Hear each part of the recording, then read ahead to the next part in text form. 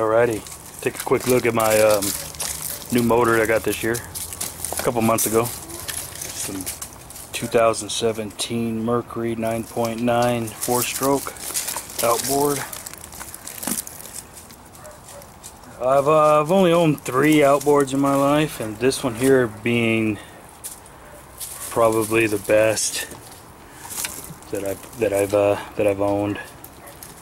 It's uh, definitely uh, definitely kick ass. I got it. I got it on my uh, 14 foot Lowe John boat.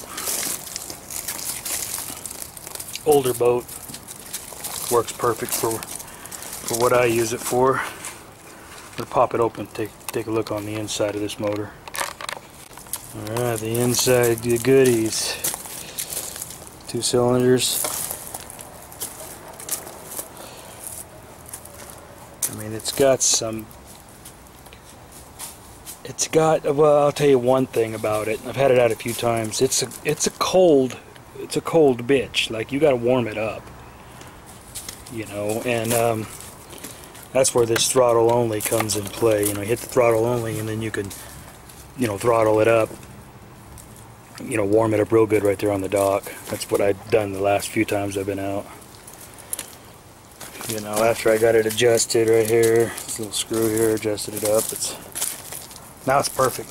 Boom, fires up first pull and then you basically get her warmed up and off you go.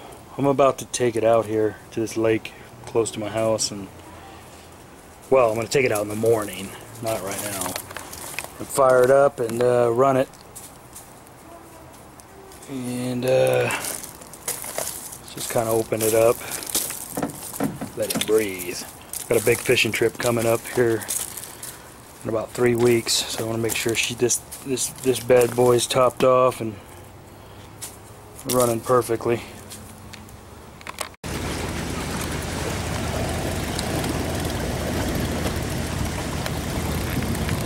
Alright, this is cold start right here.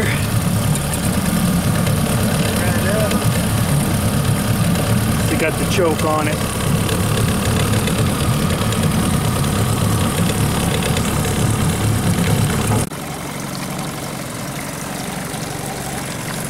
Merc at trolling speed.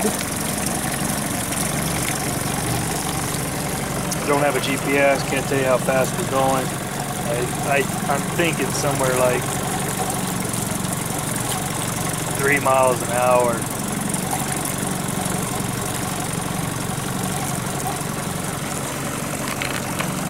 Okay, so we go. We're gonna we're gonna open it up here.